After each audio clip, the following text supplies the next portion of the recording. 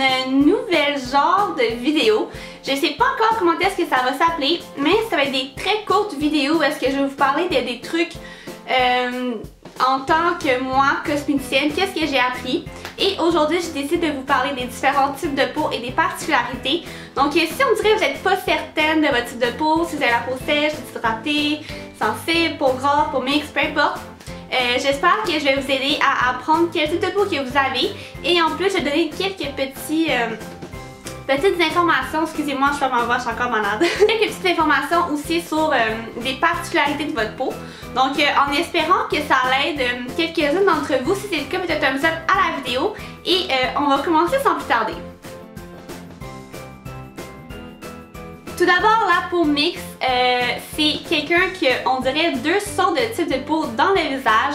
Donc normalement, la zone T, ce qui consiste à être le front, le nez, un petit peu le début des joues ici, et le menton est plus euh, un excès de sébum en réalité. Donc normalement, on peut voir que les pores sont un peu plus ouverts. Si vous n'êtes pas capable de savoir c'est quoi un pore, un pore, on dirait quasiment que vous allez avoir un petit trou. Ben, c'est comme des plein de petits trous euh, c'est généralement tout le temps autour du nez, un petit peu sur le front, un petit peu sur le menton. Et euh, le restant de votre visage, donc euh, surtout vos joues, peut-être l'extérieur de votre menton, peut-être votre front aussi, ça va être une peau qui va être plus sèche. Donc vous allez voir là, vous allez toujours ressentir le besoin de l'hydrater. Aussi, vous allez être beaucoup plus sensible aux changements de température. donc, comme par exemple en hiver, il va faire, il va venter beaucoup puis ça va vraiment être sec comme température et très froid, vous allez ressentir votre peau qui va être beaucoup plus sèche. Tandis que l'été, quand il va avoir des canicules puis qu'il va faire super chaud, vous allez vraiment sentir que votre peau elle est super grasse. Une peau mixte, c'est juste euh, question d'hérédité. Des fois, ça peut être dans ce que vous mangez, votre alimentation les changements de température, euh, la pollution autour de vous, les produits que vous utilisez. Donc vous pouvez pas vraiment prévenir avoir une peau mixte, ça, ça arrive puis après ça on la traite. Le problème c'est que c'est très difficile à prendre soin justement parce que vous avez autant la peau sèche que la peau grasse à certains endroits. Donc c'est vraiment important de choisir des bonnes crèmes, pas trop grasses pour que là vos pores s'obstruent puis que vous ayez plein de pores, euh, de, de points noirs puis plein de boutons c'est pas le but. Puis c'est pas le but non plus de tout assécher le restant de votre visage. Donc moi je vous conseille vraiment d'aller voir un esthéticienne ou bien voir une cosméticienne pour qu'elle vous conseille vraiment selon votre type de peau exact, quelle crème que vous pourriez utiliser. Des fois vous pourriez même utiliser deux crèmes, donc une pour la peau sèche autour de votre visage et une pour les peaux plus à problème et grasses autour de votre santé. Maintenant pour les peaux grasses, c'est pas compliqué, une peau grasse c'est juste que vous avez vraiment l'entièreté de votre visage qui est plutôt gras. Il y a vraiment un excès de sébum, donc au cours de la journée là, vous allez voir votre peau va vraiment être huileuse, vous allez toujours avoir besoin de repoudrer votre visage, de la matifier parce que euh, ben, c'est vraiment huileux. Première chose que vous devez absolument faire, c'est vraiment nettoyer votre visage deux fois par jour, donc le matin pour enlever le sébum qui s'est accumulé durant la nuit. Puis aussi le soir pour vraiment déléger tout votre maquillage parce que pour de vrai, si vous enlevez pas ça, vos pores vont vraiment s'obstruer puis c'est là que vous allez avoir beaucoup d'acné. Pour nettoyer votre visage, je vous conseille vraiment un nettoyant qui va être plutôt sous forme de mousse ou de gel. Comme ça, euh, ça va vraiment pas venir trop hydrater votre peau. Et optez pour une crème aussi qui est beaucoup plus légère, euh, pas rien de trop gras parce que c'est sûr encore une fois que vous allez avoir les pores obstrués. Comme soin spécifique, je vous conseille aussi de vous exfolier le visage environ deux fois par semaine pour enlever les impuretés puis éviter de faire des points noirs. Et aussi utiliser un masque à base d'argile, euh, un masque purifiant en réalité, surtout sur votre zone T pour enlever tout l'excès de sébum, nettoyer vraiment en profondeur puis venir enlever tous les points noirs et autres impuretés que vous pourriez avoir. Pour diagnostiquer une peau sèche, encore une fois, c'est pas si compliqué que ça. C'est quand la peau va vraiment démanger puis qu'on voit que la peau se desquame. C'est ce qu'on appelle quand on voit des plaques sèches. En gros, ce qui arrive, c'est que juste votre peau va laisser sortir tout le gras puis qu'ensuite l'eau dans votre peau, vraiment plus profonde, va juste s'évaporer parce qu'il n'y a rien qui peut la permettre euh, de garder votre hydratation parce que normalement, c'est le sébum qui va faire que votre peau est hydratée de façon naturelle, en plus ça va préserver votre hydratation. Mais cette fois-ci, vous n'avez pas de sébum, donc toute votre hydratation ou eau va juste s'évaporer. Souvent, ce qui cause le dessèchement de la peau, c'est vraiment euh, les expositions au solaire. Moi, c'est mon cas, je me suis... Euh, J'adore le soleil, ma peau est sèche, j'ai pas nécessairement une très bonne alimentation. Ça peut aussi être juste euh, côté euh, hérédité, donc vous pouvez juste rien y faire. Moi je sais que ma mère a la peau très sèche aussi, je pense que c'est une forme d'hérédité. Il y a aussi la pollution à l'extérieur, c'est vraiment pas bon pour la peau, mais ça on peut juste rien y faire.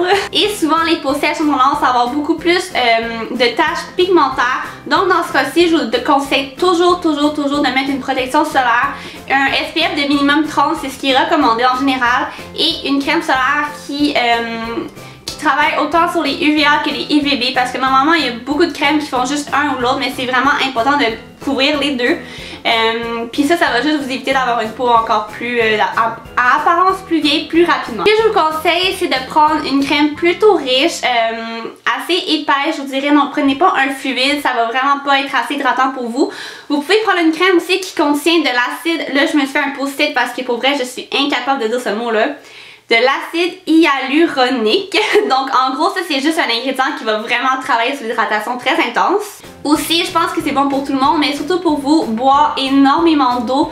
C'est recommandé de boire 2 litres d'eau par jour, même moi, je ne suis pas une buveuse d'eau, mais je m'améliore vraiment. Traînez-vous une bouteille d'eau tout le temps avec vous, là, puis je vous jure, vous allez voir une différence. Et ce que je vous conseille d'éviter, c'est justement de boire trop d'alcool, boire trop de café, fumer la cigarette, ça l'empire vraiment, non seulement votre hydratation, mais aussi votre peau va être terne, elle va vieillir beaucoup plus rapidement.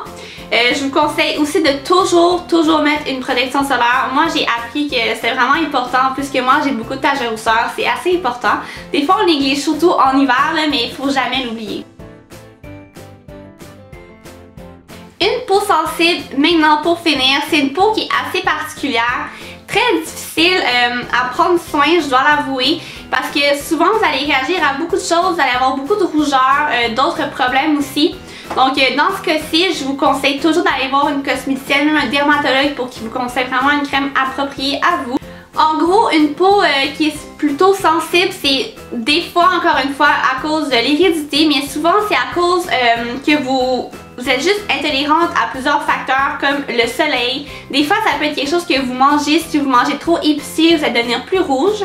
Euh, souvent aussi, après vous avoir nettoyé le visage, vous avoir la peau qui vous démange, qui vous tire, que vous avez vraiment l'impression que vous avez un besoin nécessaire de mettre une crème parce que votre peau brûle tout simplement.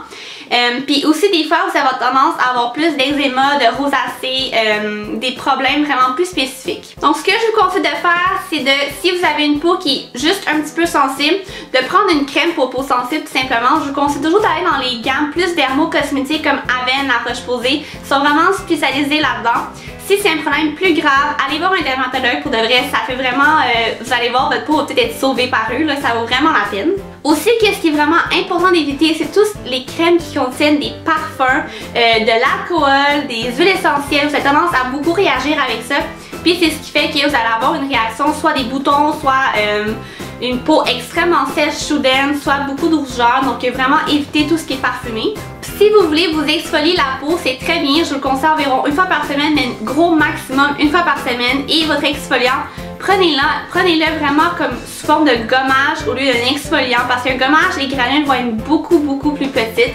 Si vous utilisez un exfoliant comme je pense au Saint-Yves qui a des granules super grosses, c'est vraiment agréable comme pour les autres types de peau, mais pour vous, ça va juste abîmer votre peau encore plus, puis c'est pas ça qu'on veut faire. Et voilà, c'est tout ce qui met fin à ma vidéo sur les différents types de peau et aussi leurs particularités, quoi faire, quoi éviter. J'espère que vous avez apprécié, c'est quand même différent là, mais moi j'aime tellement ça parler des types de peau puis parler de comme les soins. J'adore ma job en tant que cosméticienne, fait pour moi transmettre mon amour pour ça, j'adore ça. Si vous avez des questions sur votre type de peau, des crèmes que vous devriez utiliser, vous n'êtes pas certaine, laissez-moi vos questions en commentaire, je vais vraiment tous y répondre. Si c'est quelque chose de plus personnel, euh, vous pouvez toujours m'écrire par courriel. Mon courriel est toujours dans la barre d'informations. Je vois mes courriels environ trois fois par jour pour de vrai. Donc, euh, inquiétez-vous pas, je vais vous répondre, c'est certain. Et sinon, euh, faites un thumbs up à la vidéo si vous avez aimé et si vous aimeriez que je fasse d'autres genres de vidéos dans ce style-là. Parce que, pour vrai, j'aime vraiment ça. Donc, merci d'avoir écouté et on se revoit bientôt. Bye tout le monde!